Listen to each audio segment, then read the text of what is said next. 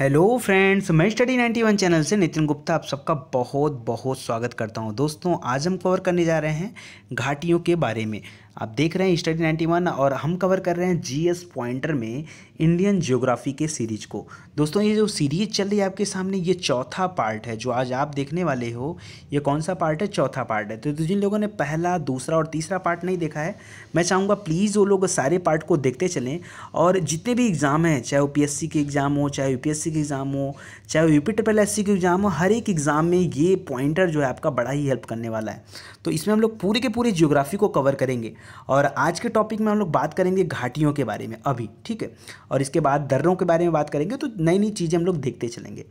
देखते हैं कि घाटियों से संबंधित कौन कौन से प्रश्न बनते हैं हमारे एग्ज़ाम में।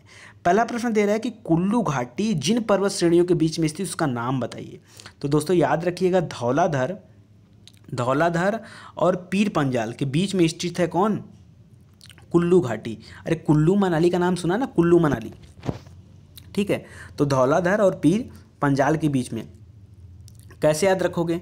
तो देखो डी डी डी डी माने Dhauladhar P P P P माने पीर पंजाल, और कुल्लू मतलब के एल के एल ठीक है के एल एल तो याद रखो। डी डी पी पी के बीच में कौन है? के, कल्लू, ठीक है? तो याद रखो डी पी के बीच में कल्लू। तो ऐसे करके समझ लो, याद कर लो, क्योंकि बड़ा इंपॉर्टेंट है और आता है यहाँ से प्रश्न। अगला दे रहा है, नेलांग घाटी स्थित है। कहाँ पर है नेलांग घाटी? तो याद रखिएगा, उत्तराखंड में। लोग क्या करते हैं ना, गलती से आंग, वांग, छांग, इस तरह के प्रश्न अगर आते हैं तो वो लोग पूर्वी, पूर्वोत्तर भारत के राज्यों को टिक करते हैं। जैसे नागालैंड, अरुणाचल, असम, मेघालय, वहाँ पर टिक कर देते हैं। तो रटने वाली बात नहीं दोस्तों, नेलांग घाटी याद रखेगा ये उत्तराखंड में है नेलांग घाटी, ठीक है? अगला प्रश्न दे रहा है, कुछ घाटियों का नाम दे रहा है और आपको सुमेलित करना है कि कौन से राज्य हैं। फ़िलहाल वो सही सुमेलित है, यहाँ पे अवेलेबल है। जैसे मरखा घाटी तो इसका नाम बहुत कम लोगों ने सुना होगा, मरखा घाटी। ठीक है, ये जम्मू कश्मीर में है। जूकू घाटी, ये कहाँ पर है? नागालैंड में। इंपॉर्टेंट है, बहुत इंपॉर्टेंट है। जूकू घाटी, नागालैंड। सांगला घाटी कहाँ पर है? हिमाचल प्रदेश। और यूथांग घाटी कहाँ पर है? सिक्किम। दोस्तों, मैं आपसे कहूँगा कि चारों की चारों ये घाटियाँ आप याद कर लो, क्योंकि अभी क्या करेगा ना, आपके एग्ज़ाम में कुल्लू घाटी नहीं पूछने वाला आपसे, क्योंकि बहुत सारे लोगों ने रट लिया है कि धौलाधर और पीर पंजाल के बीच में कुल्लू घाटी है। अभी पक्का वो जो क्वेश्चन है वो चेंज करेगा। तो ये चारों के चारों आपके लिए नए हैं। मरखा घाटी, जम्मू कश्मीर, जूकू घाटी, नागालैंड, सांगला घाटी, हिमाचला। सांगला, हिमाचला, ऐसे याद कर लो। ठीक है, यूथांग घाटी सिक्किम। ओके? चलिए, आगे देखते हैं। निम्नलिखित कथन सही है? आपको देखना है यहाँ क्या सही है। मौन घाटी। मौन घाटी तो मूक घाटी, मौन घाटी, साइलेंट वैली, शांति घाटी, कई सारे लैंग्वेजेस को बोला जाता है। तो याद रखिए, साइलेंट वैली, राष्ट्रीय वन के निकट पथरक पथरक डाबू, जल विद्युत परियोजना बनाने का प्रस्ताव है। ठीक है? तो बिल्कुल सही है, ये राष्ट्रीय वन के रूप में भी फ़ेमस है। राष्ट्रीय उद्यान के रूप में भी घोषित किया गया इसको साइलेंट वैली को। और इसके पास में एक जल विद्युत परियोजना बन रही, जिसका नाम है पत्थरक डाबू, ठीक है? और इसी के पास एक नदी है, कुंती नदी, ठीक है? साइलेंट वैली के पास एक नदी है, कुंती नदी। कुंती नदी मौन घाटी के वर्षा प्रचुर वनों से उद्भुत होती है। ये भी अपने आप में सही है। तो ऐसे ही ये नॉर्मल चीज़ दिया है कथन कारक के रूप में यहाँ से प्रश्न घुमा फिरा के तोड़ मरोड़ के बनाए जाते हैं, ठीक है? तो इसको थोड़ा ध्यान दीजिएगा आप। और अभी चलिए, अभी हम बात करते हैं दोस्तों दर्रों के ऊपर और दर्रों से काफ़ी सारा प्रश्न हमारे एग्ज़ाम में बनता है। जैसे आपसे पूछता है कि सेला दर्रा स्थित है, सेला दर्रा तो ये कहाँ पर है? अरुणाचल प्रदेश में। सेला दर्रा कहाँ पर है? अरुणाचल प्रदेश में, ठीक है? पालघाट, थालघाट थाल घाट भोर घाट ये चार घाट हैं। ठीक है, इसको भी आपको ध्यान देना है। सबसे पहले याद करिए पालघाट। पालघाट दोस्तों दक्षिण भारत में है, नीलगिरी अन्नामलाई पर्वत के बीच में। दोस्तों मैंने बताया था आपको लास्ट टाइम कि अन्नामलाई पर्वत सबसे नीचे है, उसके बाद नीलगिरी, ठीक है, और सबसे ऊपर कौन है? नल्ला मलाई नल्ला, याद है ना? नल्ला मलाई ठीक है। तो याद रखेगा, ये बीच में है नीलगिरी, ऊपर अन्ना मलाई सॉरी नीचे अन्ना मलाई ऊपर नल्ला मलाई बीच में नीलगिरी। नीलगिरी की सबसे ऊँची चोटी है दोद्दा बेट्टा और अन्ना मलाई का अन्नाई मुड़ी। तो याद रखे कि जो पालघाट है, या अन्ना मलाई और नीलगिरी के ठीक बीच में, यहाँ पर है पालघाट दर्रा। याद रहेगा आपको, पालघाट दर्रा, ओके? नीलगिरी और अन्ना मलाई के बीच में कौन है? पालघाट दर्रा। याद कर लीजिए, बड़ा इंपॉर्टेंट है। भोर घाट का दर्रा कहाँ पर स्थित है? तो ये भोर घाट जो है महाराष्ट्र में है, ठीक है? थालघाट, भोरघाट, दोनों। लिपू लेख दर्रा कहाँ पर है? ये कई बार आपसे एग्ज़ाम में पूछा है, लिपू लेख दर्रा, उत्तराखंड में दोस्तों। लिपू लेख दर्रा कहाँ पर है?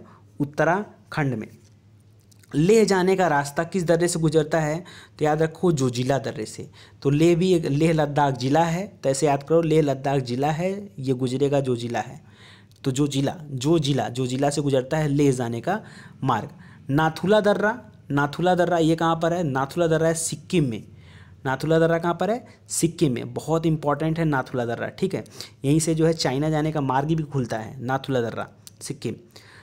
वर्ष 2006 के लगभग मध्य में भारत और चीन के बीच व्यापार बढ़ाने के लिए पुनः खोला गया था नाथुला दर्रे को। तो वही मैं आपको बता रहा हूँ ना कि भारत और चीन के ठीक बीच में है, इसी से चीन जाने का मार्ग खुलता है, ठीक है? नाथुला दर्रा 2006 में रीओपन किया गया था।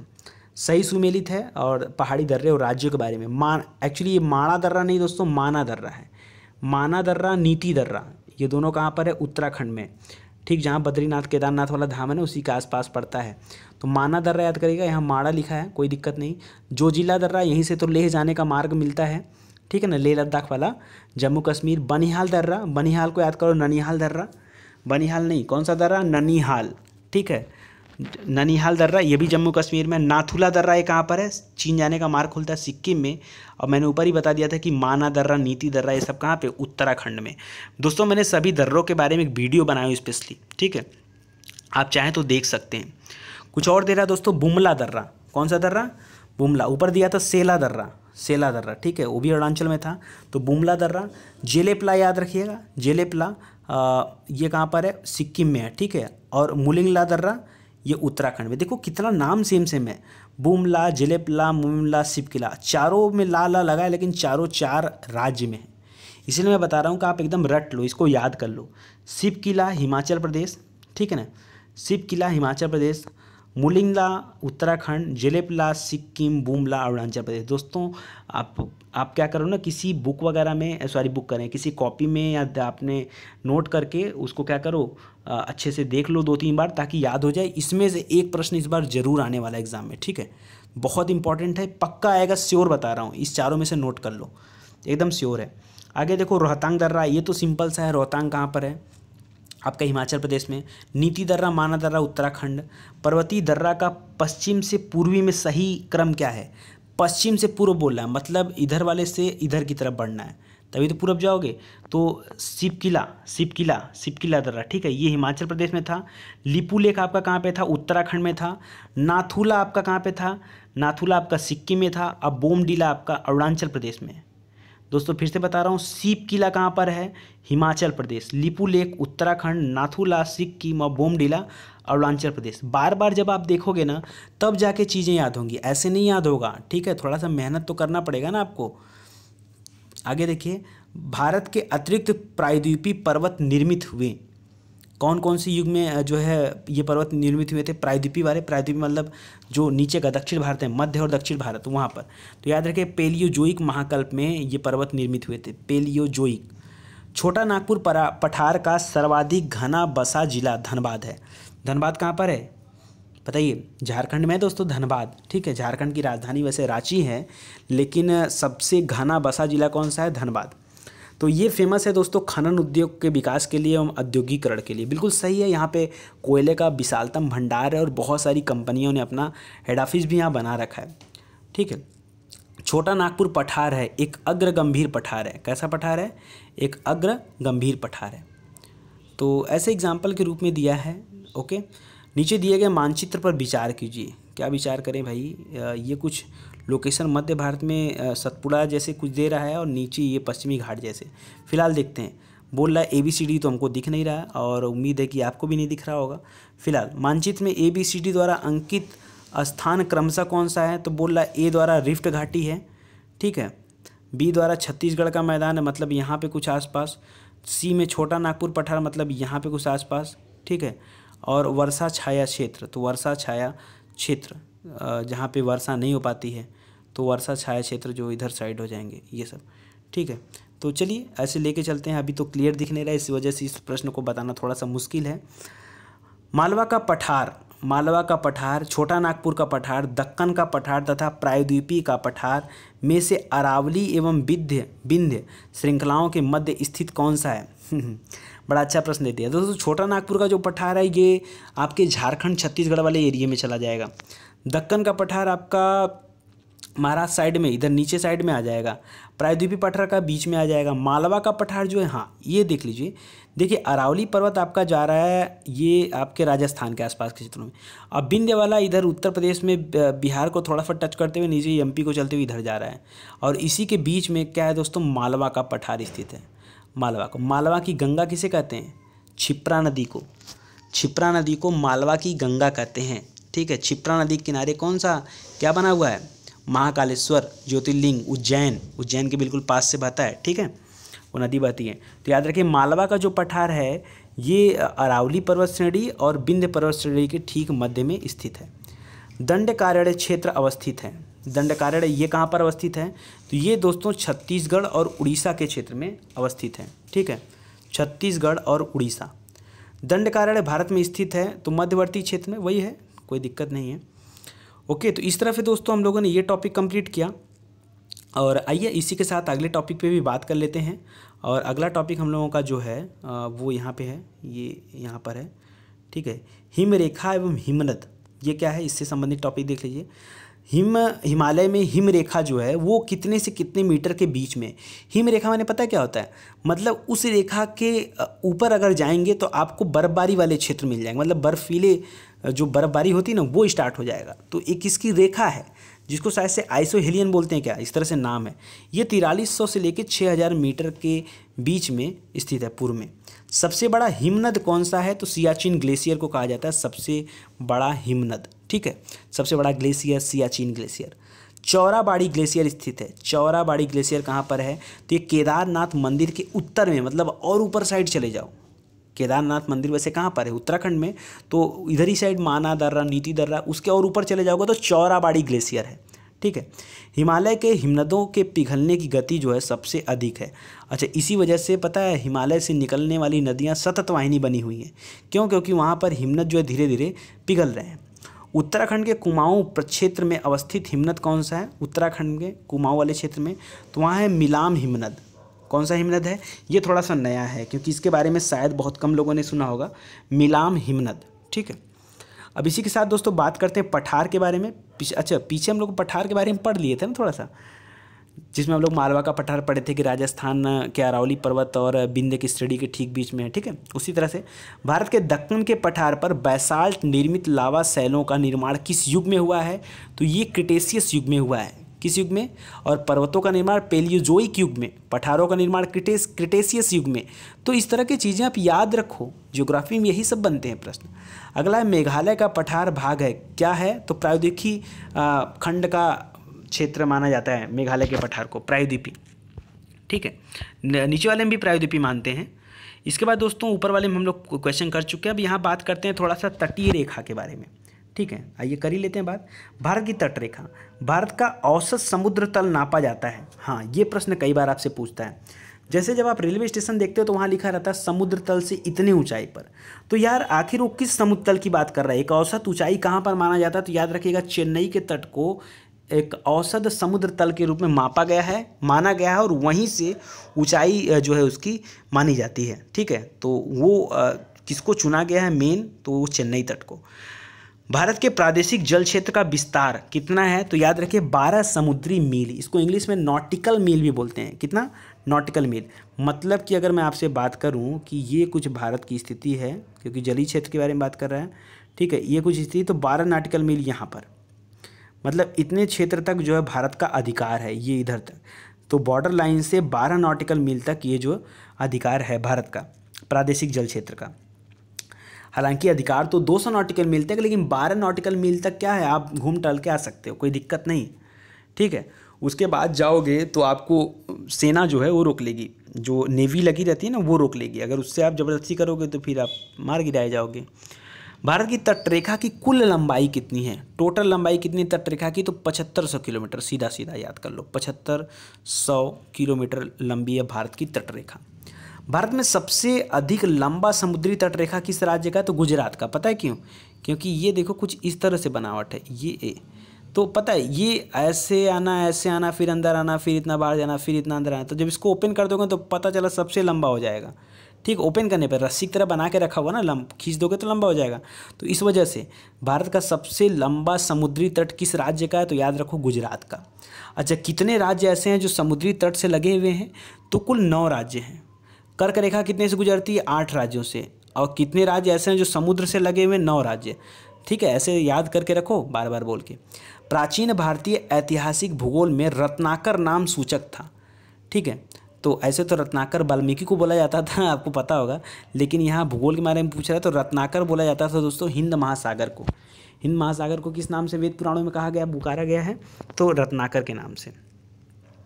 आइए थोड़ी सी बात करते हैं दोस्तों पश्चिमी तट के बारे में और फिर जो है अपना चैप्टर हम लोग क्लोज कर देंगे। भारतवर्ष के पश्चिमी तटीय शहरों में, ठीक है, कुन्नूर, नागरकोइल, जंजीरा एवं सिंधुदुर्ग का उत्तर से दक्षिण में सही क्रम क्या है? तो याद रखिए सबसे पहले जंजीरा है। जंजीबार का नाम सुना? जंजीरा। जंजीरा, कुन्नूर, नागरकोइल और तब जाकर लास्ट में कौन सा है? सिंधु दुर्ग है, ठीक है। जंजीरा, कुन्नूर, नागरकोइल सिंधी दुर्ग ठीक है? अच्छा आगे देखिए। आपको यत्र तत्र कुछ अनोखे डेनमार्क वासी मिल जाएँगे, परंतु उसका कारण यह है कि डेनमार्क की चौकी हुआ करती थी, यह अनूठा नगर, उसका दुर्ग, सुंदर गिरजाघर, नया जेरूसलम, सूनी सड़कें और उजड़ तटाग्र सब मिलकर एक अद्भुत रत्न बन जाते हैं। यह उक्ति किस स्थान के बारे में किया जा रहा है? तो याद रखिए, तमिलनाडु के तट के बारे में किया जा रहा है। क्योंकि पता है, जो डेनमार्क वाले आए थे, डेनमार्क कंपनी जैसे सबसे आने का कम क्या था? लोगों के आने का कम क्या रहा? तो याद रखिएगा, P, D, A, D, F, ठीक है? तो पी माने पुर्तगाल, डी माने डच, ए माने अंग्रेज़ और डी माने डेनमार्क और एफ़ माने फ्रांस। तो यहाँ पे अंग्रेज़ों के बाद आए थे डेनमार्क और उनका जो हेड ऑफ़िस था, समझ लीजिए, वो तमिलनाडु के आसपास के क्षेत्रों में बसे पड़े थे। तो इसलिए ये क्वेश्चन यहाँ से आ रहा है। आगे दोस्तों, ये मानचित्र दे रहा है, ठीक है, भारत का। आपको दिख रहा होगा, देखो, इस तरह से यहाँ से ये वाला पोर्सन है भारत का, ठीक है, ये नॉटिकल मिल वगैरह वाला एरिया दिखा रहा है, इधर जो आपका श्रीलंका वगैरह है। नीचे आपका जो हिंद महासागर दिख गया, ठीक है, इधर अरब सागर हो गया, इधर बंगाल की खाड़ी होगी फ़िलहाल बोल क्या रहा है, इसके बारे में देखते हैं। भारत के तटीय क्षेत्र पर ये भाग द्योतित हैं तो अंतर्जलीय उच्चावच रेखा अच्छा। तो ये जो रेखा दिखा रहा है ना, ये इस तरह से खाना खाना बनाकर, ये अंतर्जलीय उच्चावच रेखा है। तो जब हम लोग जियोग्राफी कवर करेंगे तो वहाँ बताऊँगा कि यार इस रेखा का मतलब क्या है। ठीक है? क्योंकि इसके लिए आपको मैपिंग में आपको बताना पड़ेगा। तो इंडियन ज्योग्राफी में बात नहीं करूँगा। जब मैपिंग में आऊँगा तो वहाँ डिटेल से इसके बारे में बात किया जाएगा। फिर से आ गया जंजीरा, उडुपी, ओरोविले, तूतीकोरिन शहरों में से भारत के पश्चिमी तट पर अवस्थित शहर हैं। तो अभी हमने पीछे पढ़ा था कि जंजीरा जो है सबसे पश्चिम में अवस्थित है। सबसे, सॉरी, उत्तर में सबसे ऊपर साइड है। तो जंजीरा हालाँकि वो जो किनारे पर है। और उडुपी ये भी है। ओरेविले और तूतीकोरिन क्या है? ये समुद्र तट पर स्थित नहीं है बीच में है ठीक है? ओरेविले और तूतीकोरिन। ओरेविले तो हमको लगता है वहाँ पे पड़ेगा। ओरेविले में आश्रम भी है ना? आ, किसका आश्रम था वहाँ पे? अरविंद घोष का ओरेविले। ठीक है अब देख लीजिएगा पुदुचेरी में पड़ता है। ओके? सुमेलित है सागर पुलिन और राज्य। अच्छा दीघा। दीघा सागर पुलिन दोस्तों कहाँ पर है? तो ये पश्चिम बंगाल पर है। दीघा सागर पुलिन अब देखिए, ये सब ऐसे प्रश्न है ना कि हो सकता है कि आप पहली बार सुन रहे हो इनके बारे में। तो उसमें गलती किसकी है? गलती आपकी है कि आपने कभी ध्यान नहीं दिया, जबकि क्वेश्चन यहाँ से बनते हैं। तो देखिए, होता क्या है? मैं इसके बारे में थोड़ा बता दूँ। बीच का नाम सुना आपने? बीच। जैसे आप लोग जाते होंगे मुंबई वगैरह तो सोचते होंगे, यार, चलो बीच चलते हैं घूमने। जैसे कालांगुट बीच। कालांगुट बीच, पूछता आपसे एग्ज़ाम की कालांगुट बीच कहाँ पर है? तो याद रखिएगा, कालांगुट बीच दोस्तों गोवा में है। कहाँ पर है? गोवा में। उसी तरह से, अरे यार, पूछ भी दिया क्या? यहाँ पे आगे, आ भी गया, मैं तो देखा नहीं, नीचे ख्याल नहीं किया। तो कालांगुट बीच गोवा में है। तो इसी तरह से पूछता है, ऐसे मरीन बीच कहाँ पे? ऐसे पूछता, मरीना बीच, वो तमिलनाडु में है। बागा बीच कहाँ पर? ये भी गोवा में बागा बीच। ठीक है? कालांगुट बीच, बागा बीच, ये सब जो है गोवा में है। इसी तरह से अलग अलग बीच का नाम है। तो उसी को बोला सागरपुरी ने कुछ है नहीं। तो दीघा बीच जो है, वो कहाँ पर है? पश्चिम बंगाल में। गोपालपुर बीच कहाँ पर है? उड़ीसा में। कालांगुट बीच गोवा में, मरीना बीच तमिलनाडु। में मरीना बीच बहुत बहुत सबसे लंबा बीच, शायद इसी को बोला जाता है, मरीना बीच को। ठीक है, बहुत लंबा है। अगला दे रहा है तमिलनाडु के, तमिलनाडु और आंध्र प्रदेश के तट का नाम क्या है? तो कोरोमंडल तट है। तमिलनाडु और आंध्र प्रदेश के तट को क्या बोलते हैं? कोरोमंडल तट। ठीक है। भारत के तटों में कृष्णा, डेल्टा एवं केप कमोरिन के मध्य स्थित है केरोमंडल तट। अच्छा अच्छा। तो कृष्णा डेल्टा मतलब ऊपरी साइड केप के मोरिन पॉइंट अब देखो, मैं बता दे रहा हूँ आपको, ये थोड़ा सा फिगर ड्रा करना पड़ेगा। ये नीचे का कुछ ऐसे है। तो देखो, आंध्र प्रदेश और तमिलनाडु के तट का नाम कोरोमंडल तट है। इधर कोरोमंडल तट, ये कोरोमंडल तट, ठीक है? और कृष्णा डेल्टा एवं केप के मोरिन ये इधर जो है केप के मोरिन पॉइंट है। कृष्णा या इधर आपका कृष्णा डेल्टा है, ये आपका कृष्णा डेल्टा है। ये केप के मोरिन है। अरे केप के मोरिन सबसे आखिरी पॉइंट है भाई। ठीक है? हालाँकि जो हम लोग इंदिरा पॉइंट की बात करते हैं, वो तो आपके ग्रेट निकोबार में है, अंडमान निकोबार द्वीप समूह पर, वहाँ पर है। यहाँ भारत में कन्याकुमारी पे जो एकदम आखिरी पॉइंट है, वो केप कमोरिन ही है। ठीक है? तो याद रखेगा इसके ठीक बीच में कोरोमंडल तट स्थित है। केप कमोरिन के नाम से जाना जाता है कन्याकुमारी को। ठीक है? तो इस तरह से दोस्तों, मुझे लगता है कि आज के लिए हमें जो है, बस करना चाहिए। बस करूँ कि द्वीप समूह हम लोग पढ़ ही लेते हैं। ठीक है, आइए, द्वीप समूह को हम लोग कवर कर लेते हैं ताकि कल से हम लोग का एक नया राज्य जो है टॉपिक हम लोग के सामने रहेगी। तो द्वीप समूह के बारे में देखिए, क्या प्रश्न दे रहा है कि बंगाल के खाड़ी के द्वीप समूह जो हैं, उससे प्रश्न और अरब सागर से, दो ही हैं तो दोनों के बारे में जान लीजिए। अंडमान और निकोबार द्वीप समूह का सर्वोच्च शिखर क्या है तो कल्याण शिखर। कल्याण शिखर या सैंडल पीक, अक्सर इसका जो ज़्यादातर नाम देता है, वो सैंडल पीक देता है, कल्याण शिखर नहीं देता है। और ये सैंडल पीक है कहाँ पर तो याद रखेगा उत्तरी अंडमान। एक्चुअली अंडमान में क्या है 500 से अधिक द्वीप समूह हैं। तो वहाँ हमको केयर करना पड़ता है कि यार सैंडल पीक कहाँ पर है? या फिर आ, ये पूछ देता है कि जैसे जो आखिरी पॉइंट है वो ग्रेट निकोबार में है। वो कहाँ पर है? ग्रेट निकोबार में। तो ध्यान देना पड़ता है। अंडमान व निकोबार द्वीप समूह स्थित है कहाँ पर? बंगाल की खाड़ी में। ये तो ठीक है। अंडमान निकोबार द्वीप समूह द्वीपों की संख्या कितनी है? तो है तो पाँच सौ से अधिक लेकिन उसकी गणना नहीं है। ठीक है। क्यों? क्योंकि आदमी लोग नहीं है। छोटे छोटे छोटे से सब काउंट करके बता रहा हूँ। तो ऐसे टेम्परेरी में कहीं 220 दिया है कहीं दो सौ छप्पन दिया है कहीं 500 दिया है तो आप उसके बारे में मत टेंशन लो ठीक है? दस डिग्री चैनल पृथक करता है ये काम का है। दस डिग्री चैनल जो है दोस्तों ये अंडमान और निकोबार को अलग करता है कि ऊपर अंडमान है नीचे निकोबार है। इसी तरह से जो आठ डिग्री चैनल है वो मालदीव को किससे कवर करता है? आ, क्या नाम है यार? हाँ मालदीव को मिनी काय से ये अलग करता है आठ डिग्री चैनल। दस डिग्री चैनल जो है अंडमान को निकोबार से। दस अंश जलमार्ग द्वारा आपस में पृथक किया जाता है। वही अंडमान निकोबार को, हिंदी में दे रहा नाम। बैरन द्वीप अवस्थित है। बैरन एकमात्र जो है, जागरी ज्वालामुखी भारत में अगर है कहीं पर तो है बैरन द्वीप। हालाँकि दो हैं। वो दोनों के दोनों अंडमान निकोबार द्वीप समूह पर ही हैं। एक बैरन है, एक नारकोंडम है। नारकोंडम भी भारत का ही है। ठीक है, हालाँकि नारकोंडम में जो है, सुसुप्त ज्वालामुखी देखने को मिलते हैं, और बैरन में जागृत ज्वालामुखी। तो ये दोनों के दोनों जो है, बंगाल की खाड़ी में भारत के पश्चिमी तटीय मैदान के उत्तरी भाग को जिस अन्य नाम से जाना जाता है, वो नाम बता दीजिए। तो वो कोंकण तट बोला जाता है। एक्चुअली कोंकण तट जो है, महाराष्ट्र का अंतिम हिस्सा और गोवा तक के हिस्से को कोंकण तट बोला जाता है। ठीक है? कोंकण तट। ओके? चलिए, आगे देखिए। आगे बोल रहा है कि भारत का वह द्वीप जिसका उद्गम ज्वालामुखी द्वीप है तो वो तो मैंने आपको बताया कि बैरन द्वीप। श्रीहरिकोटा द्वीप स्थित है। कहाँ पर है? श्रीहरिकोटा द्वीप। अरे, यहीं से तो मिसाइल से लॉन्च की जाती है। तो ये है पुलिकट झील के समीप, पुलिकट झील के समीप, ठीक है? श्री राम सेतु, जिसको एडम ब्रिज बोलते हैं, वो कहाँ से शुरू होता है? तो वो शुरू होता है दोस्तों धनिष्कोट से। धनिष्कोट जगह है, वहाँ से स्टार्ट होता है, ठीक है? और आगे देख लीजिए। ये सब प्रश्न तो रहे कहाँ के? आपके बंगाल की खाड़ी के। अब अरब सागर के से संबंधित जो है द्वीप समूह, उसके बारे में देखें। लक्षद्वीप जो है वो अरब सागर में है। भारत का प्रवाल द्वीप भी किसे कहते हैं तो लक्षद्वीप पर, क्योंकि इसकी रचना जो है, प्रवालों के माध्यम से हुई हुई, इस वजह से इसको प्रवाल द्वीप भी कहते हैं। लक्षद्वीप टापू अवस्थित है दक्षिण पश्चिम भारत में। एकदम ठीक है, केरल से सीधा आगे जाएँगे तो मिलेगा। वहाँ पे ज़्यादातर निवासी जो है, मलयालम भाषा ही बोलते हैं, इसलिए उनको केरल में ही शामिल किया जाता है। जो है, द्वीपों का समूह लक्षद्वीप, ये प्रवालों से हुआ है तो मैंने बता दिया। कुल छत्तीस द्वीप हैं हैं तो बहुत सारे, लेकिन, लक्षद्वीप में स्पेशली छत्तीस हैं, जहाँ पर आदमी लोग रहते हैं। भटकल अरनाला, मिनिकाय एवं हेनरी द्वीपों में से भारतीय तटरेखा के सुदूरवर्ती द्वीपों की श्रेणी में आता है। कौन सा आता है? तो मिनिकाय। मालदीव को मिनिकाय से कौन अलग करता है? आठ डिग्री चैनल। मैंने बताया ना, आठ डिग्री चैनल जो है वो अलग करता है। भारत एवं श्रीलंका के मध्य द्वीप स्थित है। उस द्वीप का नाम बताइए। रामेश्वरम। रामेश्वरम पता है? पंबन द्वीप। पंबन। एक्चुअली में उसका नाम क्या है? पंबन द्वीप। रामेश्वरम नहीं, पंबम यहाँ लिखना चाहिए, पंबन। एक द्वीप पर निर्मित भारत का सबसे बड़ा नगर कौन सा है? तो मुंबई मुंबई भी बिल्कुल अलग है और वो सालसेट द्वीप पर स्थित है। मुंबई किस द्वीप पर स्थित है? सर्वाधिक आबादी वाला द्वीप, सालसेट द्वीप। एक्चुअली में इसका नाम है सालसेट। क्या पढ़ते हैं? सालसेट द्वीप, ठीक है। सुमेलित करना है वेयंत सयोधर स्थिति अच्छा। ये अलग अलग द्वीपों का नाम दे रहा है। तो इसमें से बहुत कम द्वीपों का नाम, जैसे दमन द्वीप सुना होगा आपने, द्वारिका। द्वारिका नहीं, बेट द्वारिका सुना होगा, ठीक है। वही बोल रहा है, एक वेयंत सयोदर द्वीप है ये है दोस्तों कच्छ की खाड़ी में। अच्छा कच्छ और खंभात को समझ लीजिए क्या है? अगर मैं बात करूँ गुजरात की तो गुजरात की संरचना कुछ इस टाइप की है। तो ये जो खाड़ी है, इसके आसपास के क्षेत्र, जो खाड़ी है, कच्छ की खाड़ी, पहले क। और जो नीचे वाली खाड़ी आएगी, ये खंभात की खाड़ी, क, ख। तो याद रखिएगा जो यहाँ पे दे रहा है वेयंत सयोधर द्वीप, ये कच्छ की खाड़ी में है, और पीरम द्वीप जो है खंभात की खाड़ी में द्वारिका अरब सागर तट पर है और दीव जो है कठियावाड़ तट। गुजरात के तट को कठियावाड़ तट भी कहा जाता है।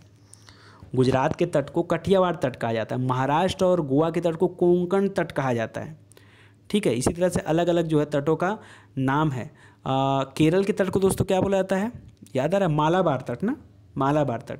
और उधर आंध्रा साइड वाले में जाएँगे तो कोरोमंडल तट हो जाता है। कोरी क्रिक। कहाँ पर स्थित है? तो कोरी क्रिक दोस्तों कच्छ के रन में है। और यहाँ पे पाकिस्तान के साथ विवाद भी चल रहा है। ठीक है, कोरी क्रिक। सर क्रिक विवाद आ तो गया। सर क्रिक विवाद किसके साथ है? तो भारत पाकिस्तान के साथ है।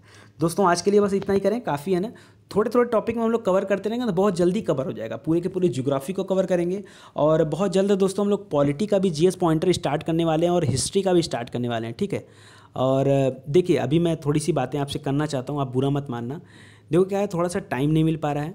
और आपको पता होगा कि इसी महीने जो सामने अप्रैल आ रहा है अट्ठारह अप्रैल को जो है खुद मेरी शादी है इस वजह से आप समझ सकते हो कि बिज़ी तो रहूँगा ज़ाहिर सी बात है अगर आपकी होती तो शायद आप भी बिज़ी होते। अब तो एक, एक डेढ़ महीने पहले से क्लास छोड़ देते ना।